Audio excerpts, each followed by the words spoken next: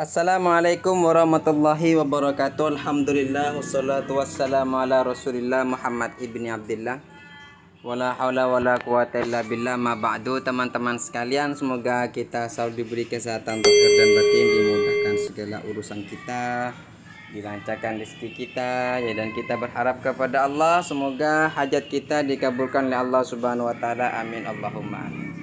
Ini adalah status dari Kiai Ali Badri hari ini ya, dua jam yang lalu.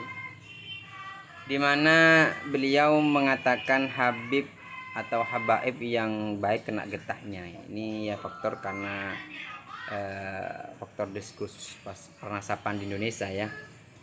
Sehingga para Habaib yang baik pun itu juga kena getahnya gitu. Jadi sekarang ini di mata sebagian orang Indonesia itu Ba'alawi ya hampir tidak ada yang baik.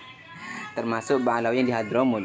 Jadi ada beberapa pandangan-pandangan beliau yang disampaikan kepada kita teman-teman ya. Jadi berikut ini beberapa catatan beliau yang katanya beliau barangkali bisa memperbaiki sudut pandang.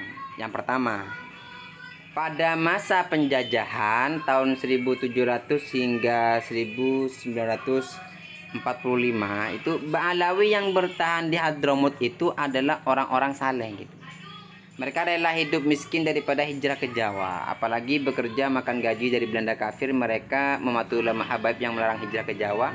Ya apalagi Habib Abdullah Haddad bilang bahwa harta yang didapat oleh Ba'alawi yang di Jawa itu tidak berkah. Jadi kesimpulannya Balawi yang bertahan di Hadramut beda jauh dengan Balawi yang hijrah ke Jawa untuk mencari pekerjaan.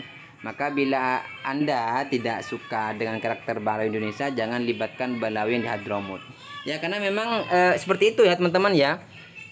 Kalau yang sudah pernah nyimak video YouTube saya ketika saya mengurus tentang e, kenapa orang-orang habaib yang hijrah, alasannya faktor apa mereka itu hijrah ke Nusantara, yaitu faktornya karena doikil maisha ya karena rupa ke uh, peng, penghidupan ya karena faktor kemiskinan sehingga mereka datang ke Nusantara bekerja kepada kafir Belanda gitu.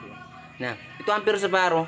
Jadi sisa separuh dari mereka yang memang masih tunduk kepada uh, ulamanya yang di sana gitu. Berbeda para Ba'alawi yang datang ke Jawa ya untuk mendakwah. Jadi ada beberapa Balawi yang datang ke Jawa untuk berdakwah itu juga beda juga. Jadi pada saat peristiwa apa itu ya, ya bentroklah antara Rabi'ah Alawiyah dengan dengan uh, Ali Rashad itu ya. Jadi beberapa ulama Balawi Habaib itu datang ke Jawa untuk mendakwahi kalangan Balawi sendiri yang ketika itu memang ahlaknya rusak parah. Namun semua Habib itu gagal total. Sebagian mereka pulang ke Hadramut dan sebagian lagi yang menetap di Indonesia membantu para kiai berdakwah pada umat Islam pribumi. Maka habaib atau ulamanya Balawi yang datang untuk berdakwah itu berbeda jauh dengan Balawi yang memang datang untuk kerja mencari nafkah kepada kafir Belanda. Beda ya termasuk beda karakter dan cara pandang walaupun perangai dan cara pandang keturunan mereka yang sekarang itu sudah keturunan keturunan mayoritas Banglawi yang datang sebagai pekerja di Indonesia. Jadi pandangan sesat semisal bahwa kiai yang menikahi Syarifah Banglawi itu tai, nikahnya tidak sah, ibadahnya tidak terima dan lain-lain sebagainya. Itu bukanlah pandangan habaib yang datang ke Indonesia untuk berdakwah.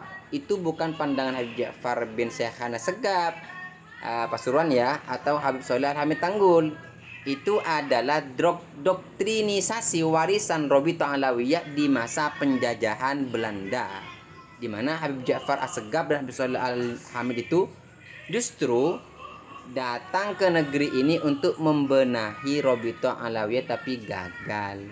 Nah, kesimpulannya sebagian Balawi datang ke Indonesia memang untuk berdakwah Ya, kalau yang seperti itu mereka harus dihormati dan dibedakan dari Banglawi yang lain memang datang ke Nusantara hanya untuk cari pekerjaan, cari makan kepada Belanda saat itu. Yang nomor tiga teman-teman, ya Kiai Badri yakinlah di antara Banglawi yang hijrah ke Jawa untuk bekerja itu juga ada yang baik. Ya sebetulnya seperti itu, walaupun entah seberapa banyak jumlah mereka Mereka hanya merasa terpaksa harus mencari nafkah dan ikut-ikutan berhijrah ke Jawa. Ya, kesalahan mereka hanya mereka tidak mau bersabar untuk bertahan hidup miskin di Hadramut. Mereka tidak terlibat dalam konflik dan persetujuan keji Robito Alawiyah dan Al Irsyad pada pada masa itu. Pada konflik masa itu ya, tahun 1906 Masehi hingga tahun 1943 Masehi yang jelas-jelas buruk itu adalah para pemuka Ba'alawi atau pengurus Robito Alawiyah sebagaimana kesaksian Mufti Hadramut saat itu yaitu siapa? Habib Abdurrahman bin Ubaidillah As-Segaf ya Adapun anggota Robito Alawiyah memang banyak yang terlibat namun belum tentu 100% dari semuanya kesimpulannya bagaimana? Ya kita mesti berhati-hati untuk memukul rata semua Ba'alawi yang hijrah ke Indonesia untuk bekerja kepada Belanda itu. Khawatir ada yang baik juga di antara mereka. Ini katanya Kali Badri ya. Nah, menurut pengamatan saya kata Kali Badri, Ba'alawi, Ba'alawi yang perangainya tidak baik itu hanya ada di beberapa tempat saja, seperti di Jawa, di Sunda, Madura, dan Kalimantan Selatan. Di situ-situ aja Balawi yang sangat disanjung bahkan dibiarkan saja oleh ulama pribumi walaupun berbuat semena-mena. Dari itu biasanya Balawi hanya berani semena-mena atau dawir minta-minta ngemis di tempat-tempat itu saja atau kepada suku-suku di itu saja. Di Kalimantan Barat sering terjadi Balawi marah kalau ada orang Madura menikah syarifah mereka. Tapi tidak berani marah kalau yang menikahi syarifah mereka adalah orang Melayu. Ini nyata teman-teman ya, nyata ini. Jadi kesimpulan ulama pribumi sendiri yang selama ini turut merusak perangai ba sebagian Balawi yang dimaksud mereka baik tapi akibatnya malah tidak baik bagi perangai Balawi. Ini memang nyata teman-teman ya. Ya memang mereka mereka di, tempat-tempat seperti Sunda, Madura, ya apalagi di Madura, Kalimantan Selatan ini memang sangat dipuja-puja, disanjung banget gitu jadi eh, seakan-akan mereka tuh nggak bisa nggak nggak nggak punya nggak punya dosa nggak pernah berdosa gitu.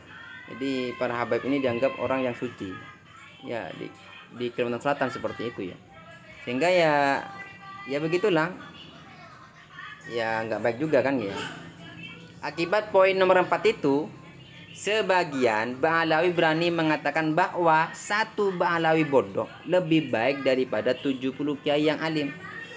Hal ini tidak ter, tidak terjadi di selain tempat-tempat yang saya sebutkan itu. Ketika awal-awal saya masuk ke Malaysia 2010, ketika istirahat di pesantren, saya sering dipijat oleh para santri. Mereka menawarkan diri dan saya mau dipijat untuk menyenangkan mereka. Ketika saya tanya namanya ternyata banyak di antara mereka yang Balawi. Jadi di Malaysia dan Thailand banyak Balawi yang belajar di pesantren milik pribumi dan mau berkhidmah pada ulama pribumi. Berbeda jauh dengan Ba'alawi yang di Jawa. Ketika sejak tahun 2010 saya sering ke Malaysia dan Thailand sekalian untuk menghimpun keluarga keturunan Syekh Jumadil Kubro di dua negara itu ada beberapa tokoh Balawi Indonesia yang kemudian bela-belain datang ke Malaysia juga dan ke Thailand untuk menjelek-jelekan saya supaya Balawi di sana menolak nasab keturunan Syekh Jumadil Kubro. Untung saja ulama Malaysia dan Thailand lebih percaya pada saya. Aduh, suka menghasut ternyata ya. Bahkan mereka jadi tahu perangai sebagian Balawi Indonesia yang tidak menawan itu. Kesimpulannya Balawi yang perangainya tidak baik itu hanya ada di Indonesia. Jadi jangan pukul rata semua Balawi itu di seluruh dunia. Ketika awal-awal saya mendata keturunan Wali Songo, ada dua Habib yang mensupport saya, yaitu Habib Soleh Al Idrus Malang dan Habib Hussein Asegab, Habib Protot Gresik.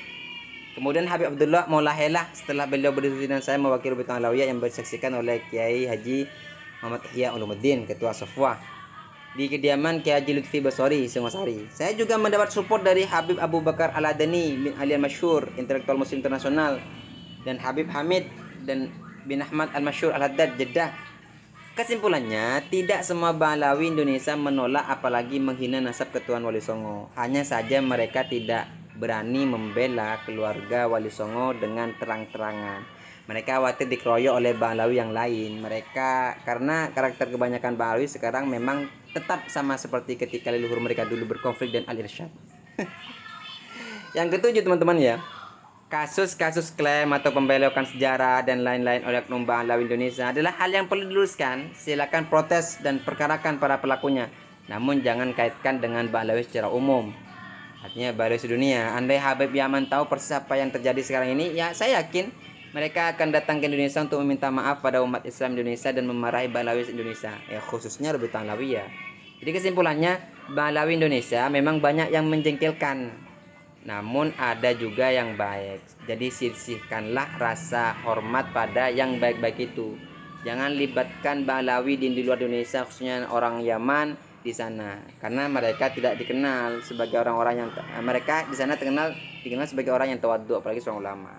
Nah, kepada bala Indonesia yang baik-baik terimalah ini sebagai ujian atau teguran. Karena kalian selama ini diam saja ketika keluarga kalian banyak yang bertindak menjengkelkan. Dan kepada Balawi yang ulama, ayo lanjutkan dakwah bersama, disku, dibiarkan diskusi nasab dan sejarah itu berjalan di ruang diskusi dan seperti yang pernah saya katakan, mulai sekarang sebaiknya jangan sebut-sebut nasab di pentas dakwah. Sportif, ya sportif saja, seperti pendakwah yang lain, ceritakan ilmu dan adab. Jangan ceritakan nasab dan kebesaran luhur. Ya supaya orang-orang tidak menganggap kalian pandang penjual berjualan nasab. Menarik teman-teman ya. Jadi yang yang suka usil, yang punya perangainya nggak buruk itu ya di Indonesia aja gitu. Kalau di luarnya di luar Indonesia baik-baik gitu. Yang suka hasut mungkin ya. Ya yang menjekelkan itu ya di Indonesia aja. Demikian kelebihnya wassalamualaikum warahmatullahi wabarakatuh